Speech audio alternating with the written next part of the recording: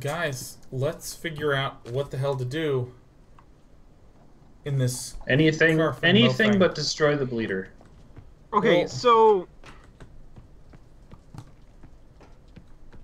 in the in the all right, if I am just gonna keep fucking harping on the relationship between this game and Myst, but if we think about Myst, uh, there was a a, a sort of a meta puzzle uh, that is not formally presented to us. I forget exactly how you're meant to stumble upon to the the meta puzzle, but if you solve it, then you discover that there is actually you know, there's a there's a whole way of doing things other than what is So the way you presented. discover the meta puzzle in Myst is by reading all the books. right. Okay. So mostly reading. Okay. So, so Mostly here's what I've done. I've unplugged the bleeder, which Good. was his thing, or I've unplugged the thing that he was excited about. Now, if you recall, we went to the Mofang world, and in the Mofang world, it was total molten devastation. Like it actually Right. looks dissimilar from this purpley area because this is actually purpley, and on the other side it was actually just like charred, blackened nothingness. And when we did the swap, it was bad. So what I've done is I've actually I've unplugged the battery, which I have no idea if this does anything, but I've unplugged the battery, guys.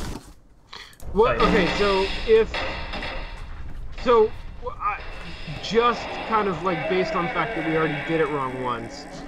Uh, the there was a there's a town on Earth, and uh, and Earth was gonna blow up, and so they swapped the town on Earth with like a similar space on another planet, Yeah. and that place died, and the town on Earth survived, but it's no longer on Earth.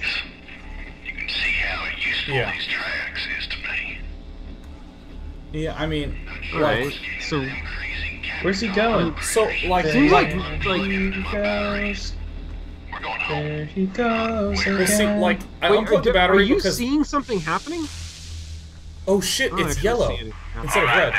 See- power up my override when the time comes. It- It, works a lot like So these things have been fl- flying around the battery, and he said, "Oh, well, plugged in the battery, so." You're not spending much time here, and that ain't a bad thing. So I just pulled the battery in. Some real fine folk. So there's clearly some sort of devastation that happened on the Earth we saw in the Mofang I world. reckon you got the best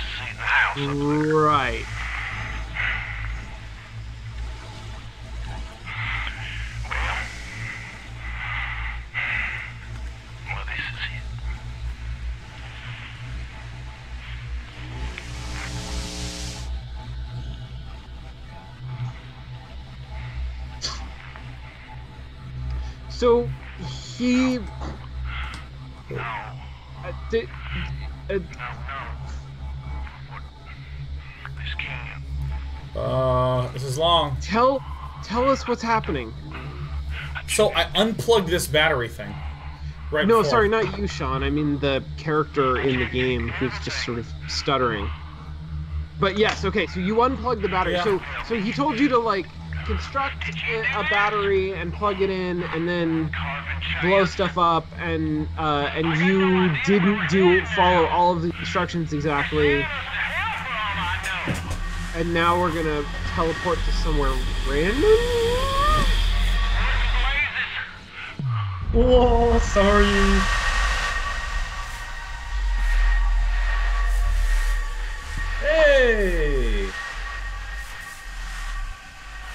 Well, why the fuck was that the right thing to do? What's that? I don't know. I can't believe that this had a different effect. What place? Wait. I'll, I'll be. Harley. She got it right. What? She got it right. What did she get right?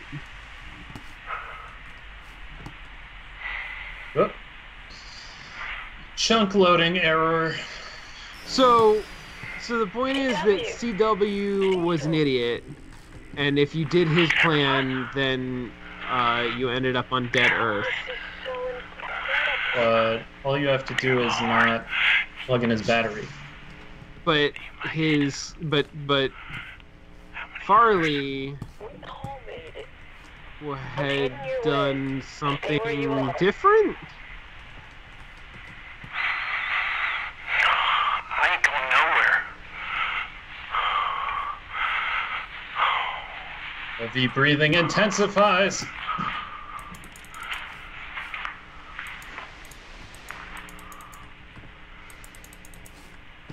Um, Help! Help!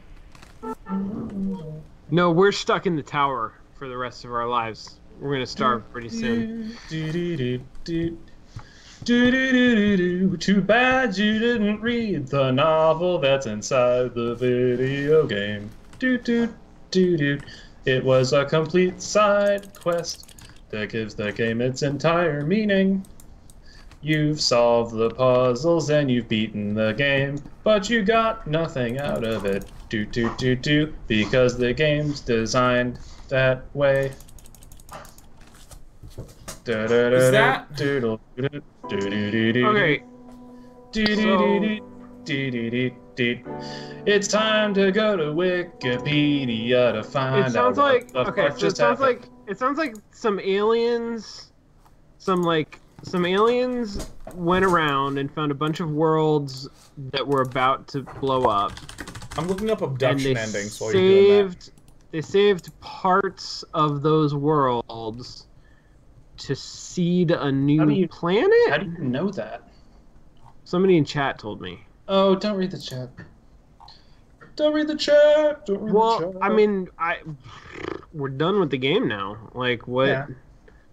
I mean, unless you want to go on your own time and play it again and read all the shit and.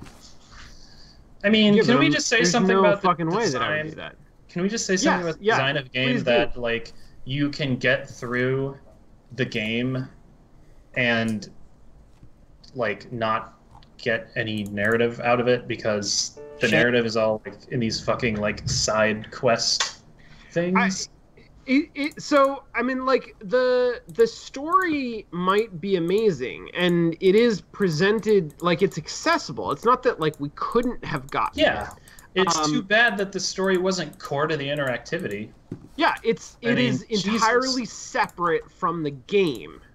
Yeah. It's just presented. It happens to pre- be presented in parallel, which Yeah. I is is a real problem. Like that's something that is like that's that's an issue I think in design when you uh, when you try to uh, make a point or tell a story. Uh, when your procedural rhetoric, when the the the argument that the game is making uh, is not tied into the thing that you want to say. I'd argue that like what that this game tell. is saying is that what this game is saying, if I had to read this, what we just played Yeah. thematically, I would say that it is something along the lines of let's see, you can do like you can save the world. Uh, what what am I trying to figure out here? It's something about like I don't know if I can phrase this properly. It's something about the the complete the what stands out most to me is the complete separation between actions and agency and the understanding and contextualization of those actions. So it says something to me about how a how as a protagonist in a game, maybe in a different kind of story also, you can go through all the motions and save the world and not know what the And fuck not you're feel doing. anything. Be like, I guess I saved the people. Yeah. Uh, Well, okay, Oh. so can I just can I just say from a from a like procedural rhetoric standpoint, um Sean saw like there were a couple of puzzles that you were supposed to need to read books in order to solve. Right? They would have been easier if we had found the book. These are these are there were a couple of like you know Rad Four related uh, Mhm. puzzles that um, that that would have been easier if we had found the books that like laid out information about how to solve them. Uh, but Sean didn't. He like he solved those fucking puzzles. He was a monster, and it like it felt really good. It was really like it felt like we were doing something that we were really smart, and by by that feeling of of achievement for us actually runs entirely counter to the relationship that the game wants us to have with the reading material. If the game had been uh, about tightly integrating the solutions to puzzles with the books that you find around the all of the the written Yeah. stuff and so in order to solve puzzles you had to go around and like research things and search through books not just for codes but for like understanding co- conceptual understanding of, of concepts and that incidentally to that you Yeah. are receiving you're getting all of the like context and historical whatever in the background narrative and you understand what's going on the relationships between people like that would make perfect fucking sense Yeah. to me but Researching If I- researching should be the mechanic. Researching should be what you do.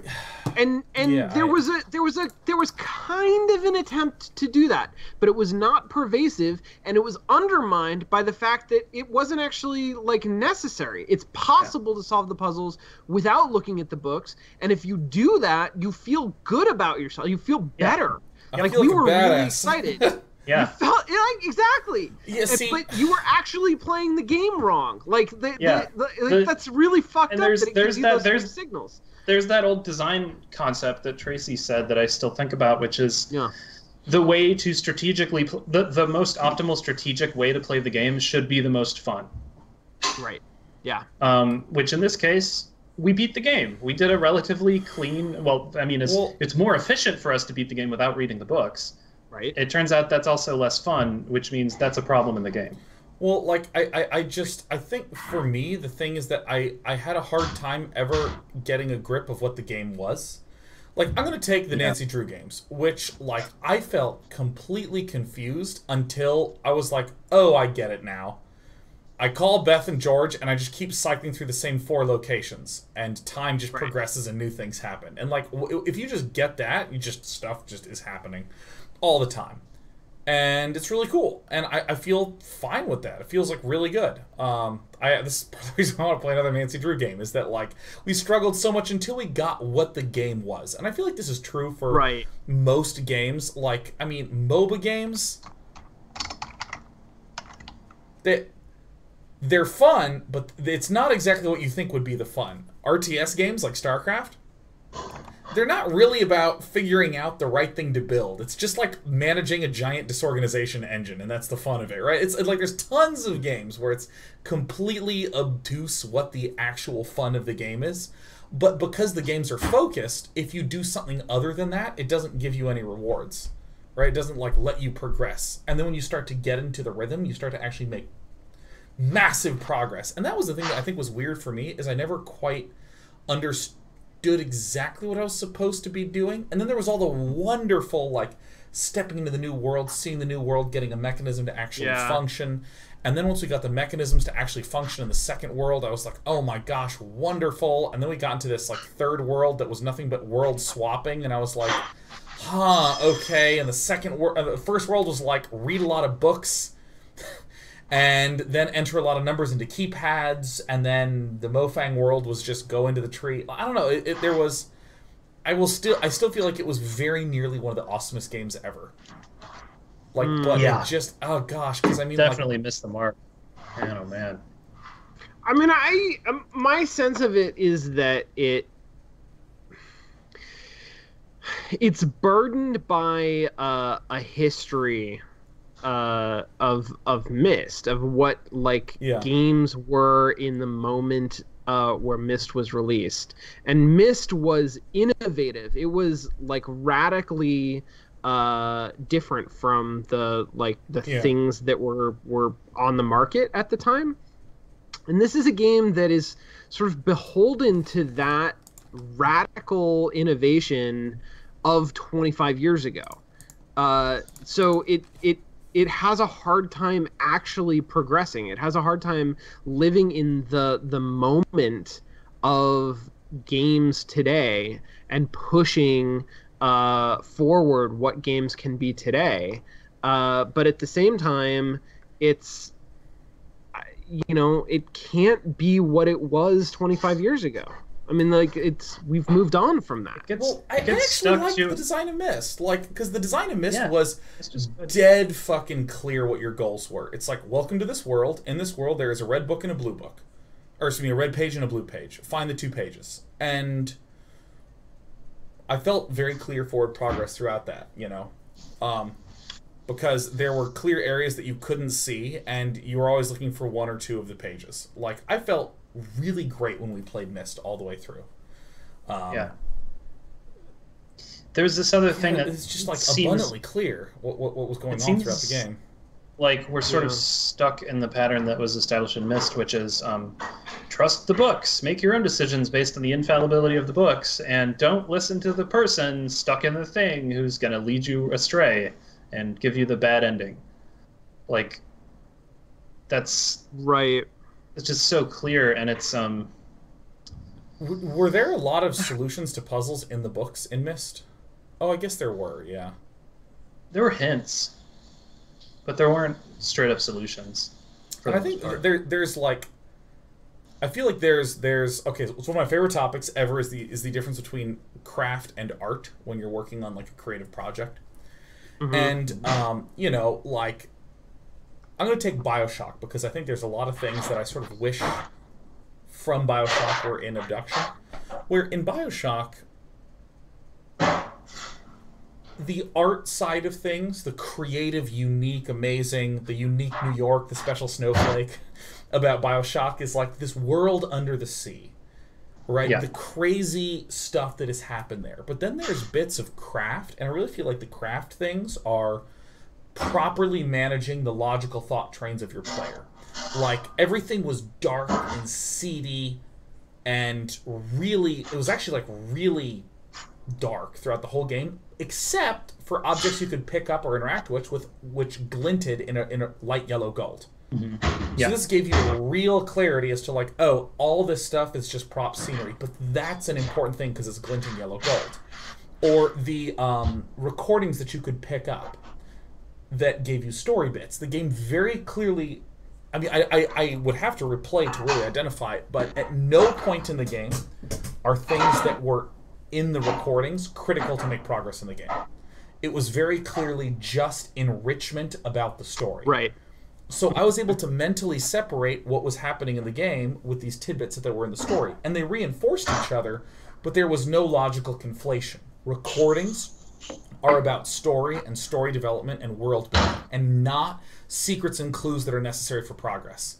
And things that are in the game that are necessary for progress are visually represented there in the game. And I feel like as we were playing through Obduction, there were things that were happening where in the book, lots of the book content was backer content, was enrichment story stuff, and some of it was critical to advance. And so I actually didn't quite have a mental model to know what's important and what's not important. And I think that that's like mm-hmm. really, really critical. Like when I'm in a game of Bioshock and I'm walking here and I'm walking along and there's nothing bright and glinting, there's no monsters, I know that I'm just looking at beautiful stuff. I'm at a low.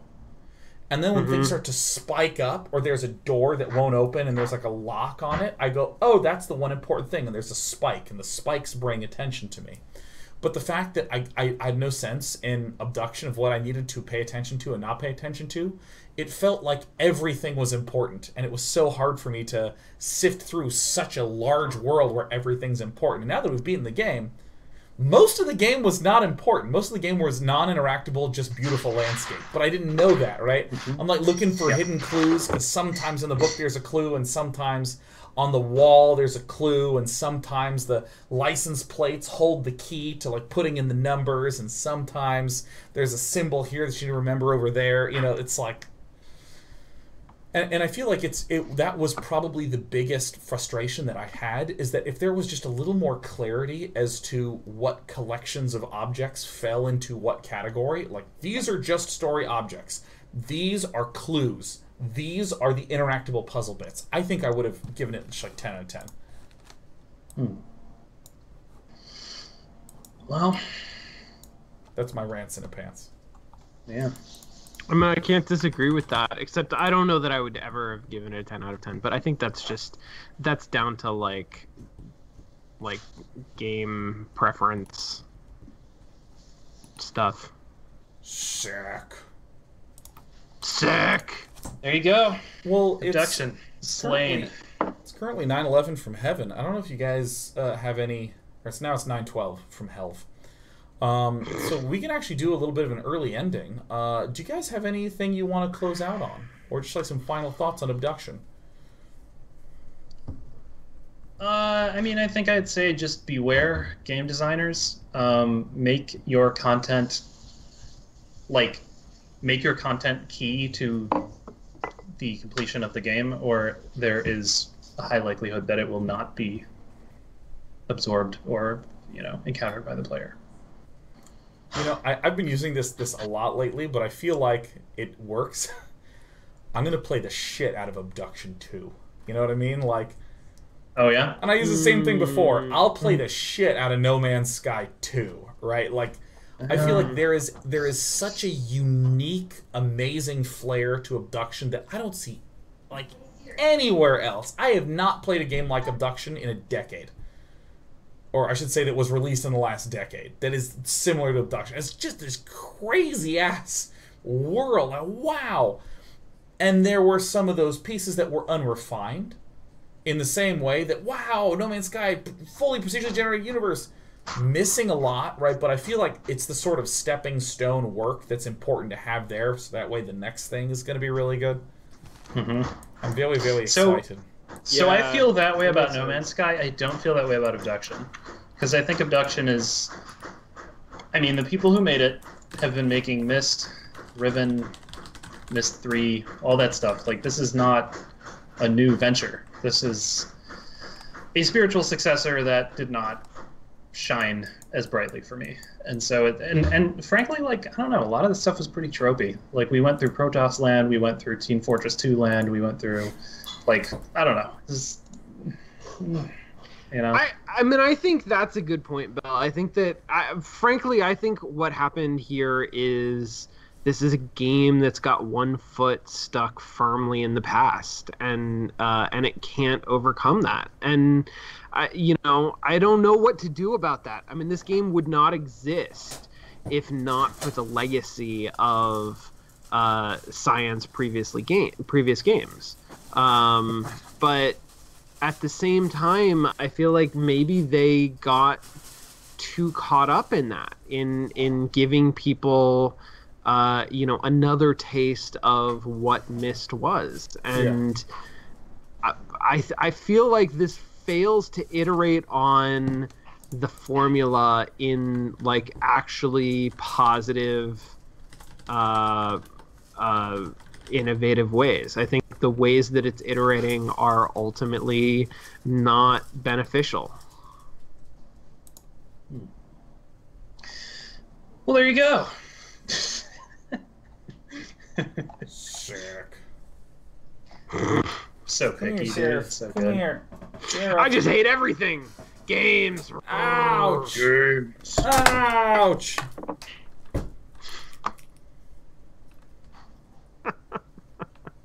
I'm back. Uh, Jesus.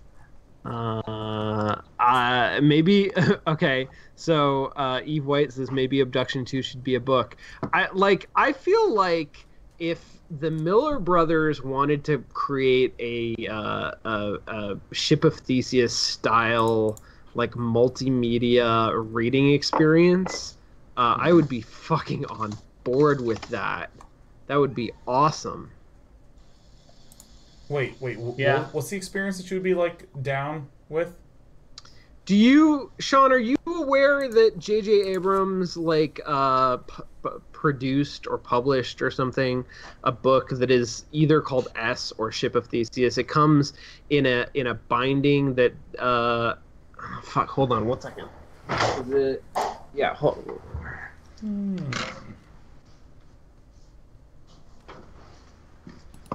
Okay. So this is um. This is the book S. It looks like this. Wow. Uh, but if you pull it out of the sleeve, you see that you actually got the wrong book. You got a book called Ship of Theseus, which is a library book, you can tell. And if you open it up, then uh, it's, it says book for loan. There's a. I thought there was a. Um, I'm so ready. Oh yeah, there's like a there's a on the back there's you can see how it's been checked out and shit like that. And if you open it up, like if you flip through, you can see first of all like the text in here has been marked all the fuck to hell. Like it's been written and rewritten by a bunch of different readers. And then it's also full of uh like cards and Huh. like here's a postcard from Brazil for some reason. Uh, there's a bunch of postcards from Brazil. Here's a like some kind of a dial that you can spin, and it's probably used for Hmm. codes. Like it's there's a bunch of there's like photocopied text that's in here. Like it's a it's a it's a puzzle book, right? Mhm. It's a J.J. Abrams style uh, mystery world narrative. Uh, it's just instead of a TV show, it's a book. Cool.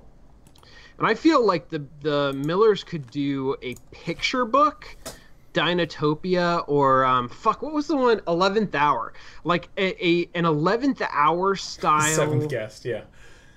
Yeah, yeah, yeah. yeah. uh, uh, uh, like a like a children's book, like fully illustrated children's mystery book in the style of S or the Eleventh Hour that uh, was created by the Rand, uh, the the Millers. I think would be fucking amazing. Yeah. Like I would And- kickstart that shit.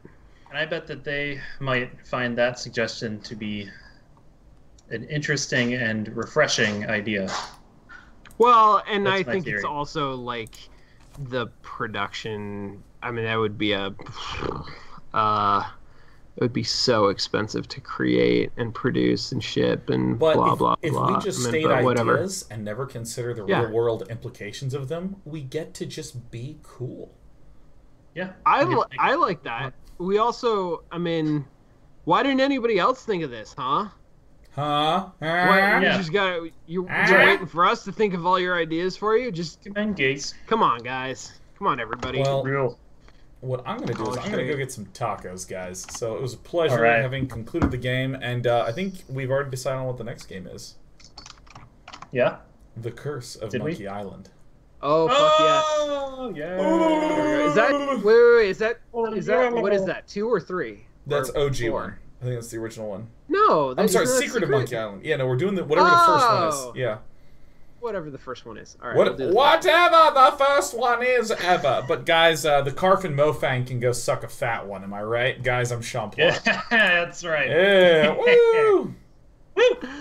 Oh God, always a pleasure. All right. Sick. Uh, and tomorrow we're going to do a show midday sometime because in the morning I need to do my civic responsibility and vote, and in the evening I have to watch as a responsible civic member and go, holy fucking shit, this election. Am I right? Ho! Do it yourselves tomorrow. Will the world and nobody knows. I think there's gonna be a riot. So whoa, whoa, whoa, whoa, whoa. Whoa.